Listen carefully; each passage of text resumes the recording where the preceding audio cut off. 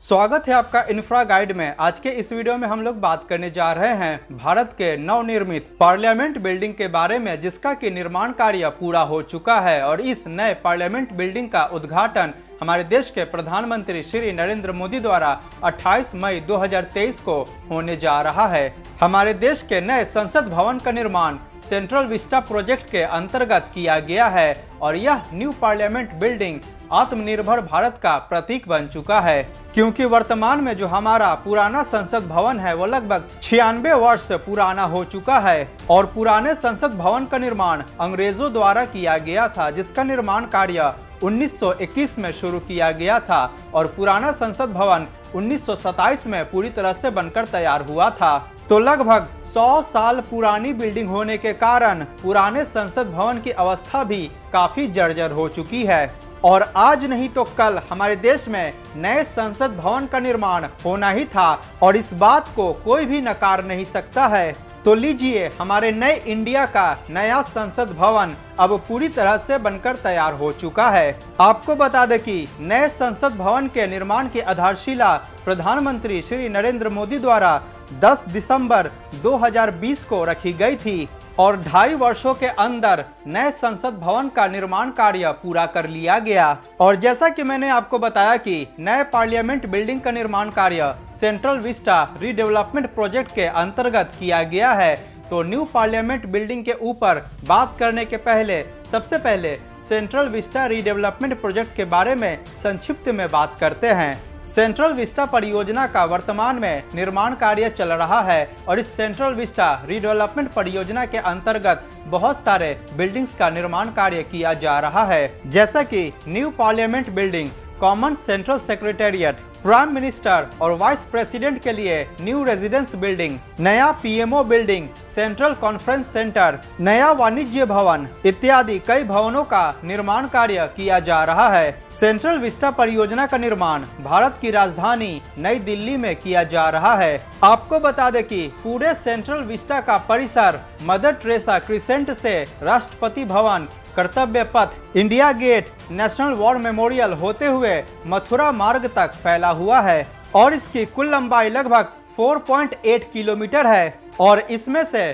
Central vista redevelopment परियोजना के अंतर्गत राष्ट्रपति भवन से इंडिया गेट तक तीन दशमलव दो किलोमीटर लंबे परिसर का रीडेवलपमेंट किया जा रहा है। सेंट्रल विस्टा रीडेवलपमेंट परियोजना ministry of housing and urban affairs जो कि गवर्नमेंट ऑफ़ इंडिया का पार्ट है, इसके अंतर्गत आता है। सेंट्रल विस्टा रीडेवलपमेंट परियोजना के अंतर्गत Rashtrapati Bhavan India Gate national war memorial Hyderabad house rail Bhavan, Vayu Bhavan इत्यादि, इन बिल्डिंग्स में कोई भी बदलाव नहीं किया जाएगा और इनको ज्यो का त्यों छोड़ दिया जाएगा।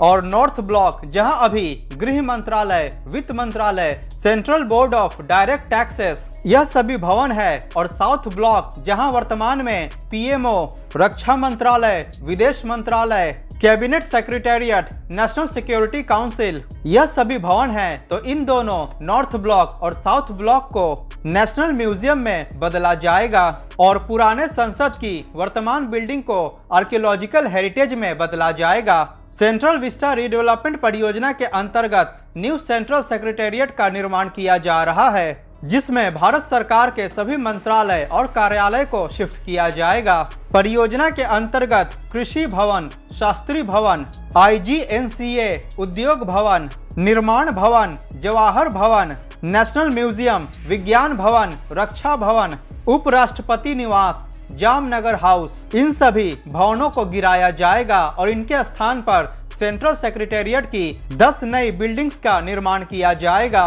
आपको बता दें कि सेंट्रल विस्टा रिडेवलपमेंट परियोजना के अंतर्गत 44 न्यू बिल्डिंग्स का निर्माण कार्य किया जाना है और वर्तमान में इस परियोजना के अंतर्गत सेंट्रल विस्टा एवेन्यू, जिसको कि कर्तव्य पथ के नाम से जाना जाता है, इसका निर्माण कार्य पूरा कर लिया गया है, जिसका उद्घाटन प्रधानमंत्री श्री नरेंद्र मोदी द्वारा 8 सितंबर 2022 को किया गया। और अब न्यू पार्लियामेंट बिल्डिंग का भी निर्माण कार्य पूरा हो चुका है और इसका उद्घाटन प्रधानमंत्री श्री नरेंद्र मोदी द्वारा 28 मई 2023 को होने जा रहा है। पूरे सेंट्रल विस्टा रिडेवलपमेंट परियोजना के निर्माण में लगभग 13,500 करोड़ रुपए खर्च किया जा रहा है और उम्मीद है कि 2026 तक सेंट्रल विस्टा रिडेवलपमेंट परियोजना पूरी तरह से बनकर तैयार हो जाएगा। तो अब बात करते हैं इसी सेंट्रल विस्टा रिडेवलपमेंट परियोजना के अंतर्गत बनाए गए न्यू पार्लियामेंट बिल्डिंग के बारे में। इस न्यू पार्लियामेंट बिल्डिंग का निर्माण कार्य संसद मार्ग प्लॉट नंबर 118 में किया गया है। इस नए संसद भवन का आकार त्रिकोणीय है और यह हमारे देश के पुराने संसद भवन से लगभग तीन गुना बड़ा है।